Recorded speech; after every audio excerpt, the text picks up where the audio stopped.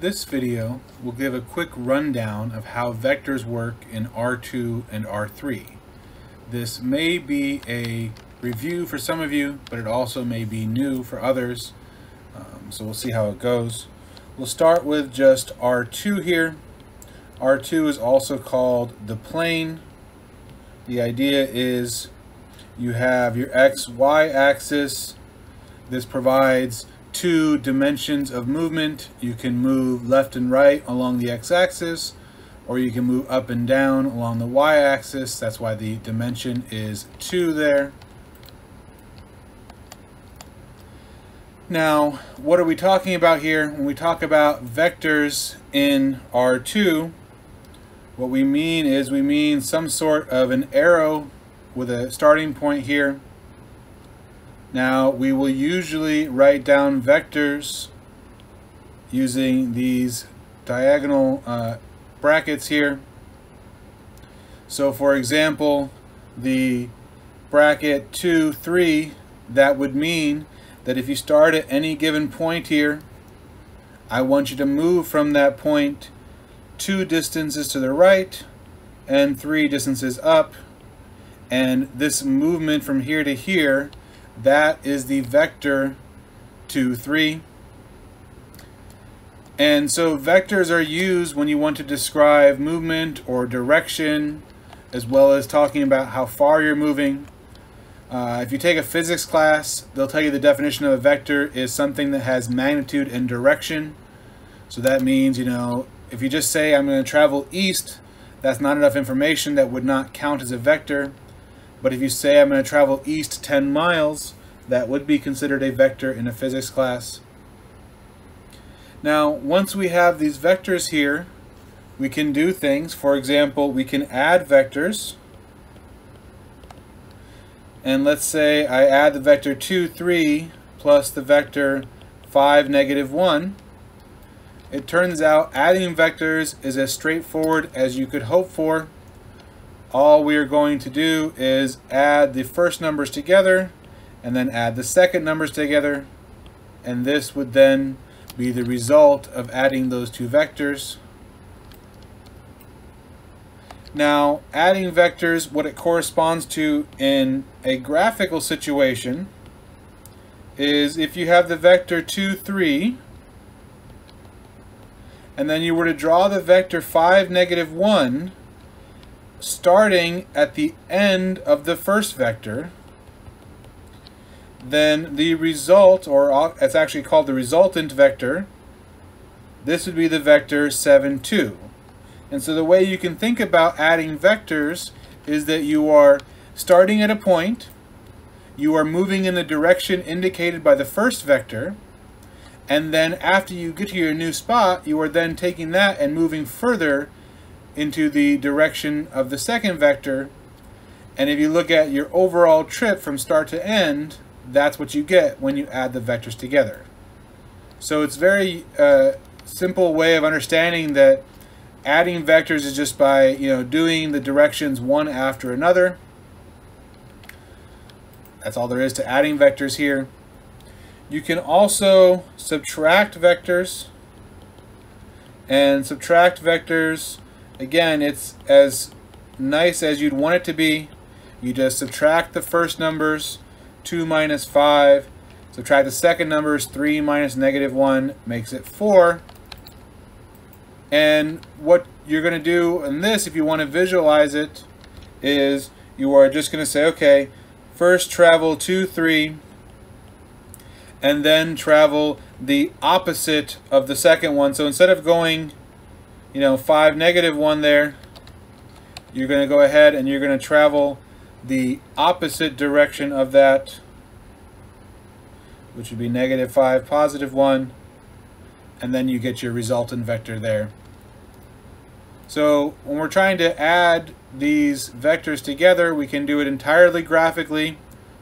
And I do think it's important to understand what's happening geometrically on these problems. But when you're doing practical, you just want to add vectors together. It's just easiest to add or subtract the numbers. You, you already have it in a nice format there. There is something else you can do with these vectors as well. And this is called scalar multiplication. Now, what scalars are, these are numbers that don't have a direction. So this is like 5, and that's just it. That's a scalar here. So it's different than a vector. But it turns out you can multiply a vector by a scalar. So let's suppose I wanted to do uh, 2 times the vector 2, 3. Again, it's about as nice as you could hope for. You distribute that number in and you get 4, 6. And what this means in terms of graphically is if you look at the vector 2, 3, if you then just extend it to be in the same direction but twice as long, that's what you'd get for 2 times 2, 3. So again, multiplying by a number just means to extend it that many times longer. If you had a fraction, let's say 1 half times that, it means you only go half as long.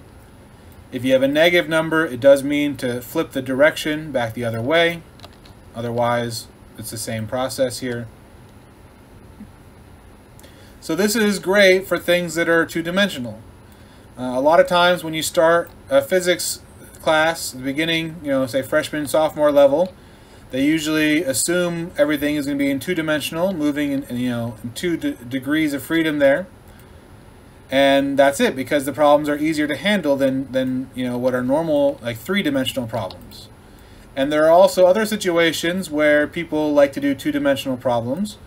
Uh, you can think of, say, some of the older video games, and some newer ones, like, say, the original Super Mario Brothers.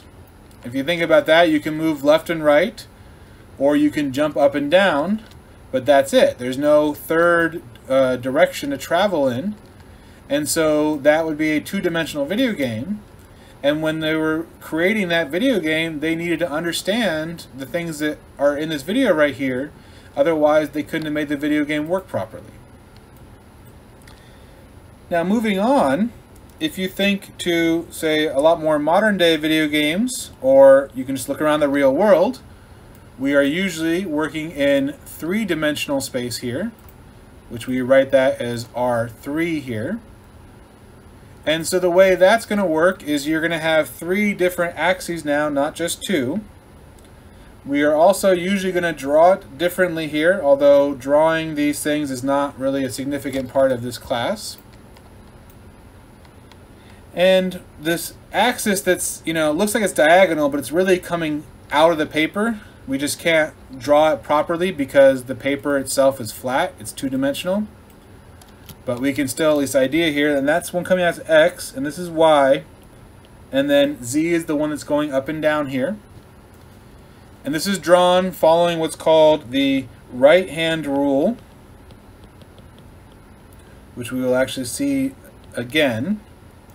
And so for right-hand rule, that means that if you take your fingers on your right hand and you push them straight out and you face them in the direction of your x-axis, and then you curl them, curl your fingers in the direction of the y-axis, then whichever direction your thumb would point when it goes straight out is going to be the z direction.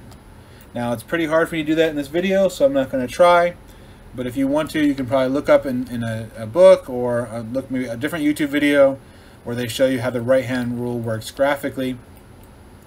And the only real difference now is that when we have this vector here, it's going to have an x, y, and a z component. Otherwise, things are going to work basically the exact same as they were working in R2. If I want to add the vectors 1, 2, 3 plus 4, 5, 6, I can just add the individual components.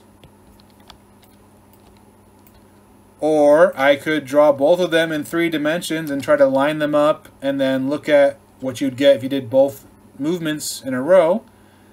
Probably not something I really want to do. I'm not very good at drawing in 3D. But regardless, you have addition, you can do subtraction, and again it's done the exact way you'd hope for. You can do scalar multiplication,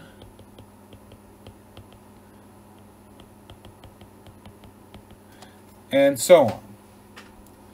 All these things here, they just give you a, a new type of object that you can play around with in math. And you can play around with and see what properties they have. For example, if you are adding two vectors together and you change and you write the other vector down first instead of second, turns out the answer is going to be the exact same. That's the commutative property. Of course, the commutative property would not work for when you're subtracting vectors. So these are just different things you can play around with. There isn't that much to worry about right now. It's just an introduction. But what we're going to be doing next is we're going to look at other things that are out there that have similar properties, and we're going to call them vector spaces. But for right now, this is it for R2 and R3.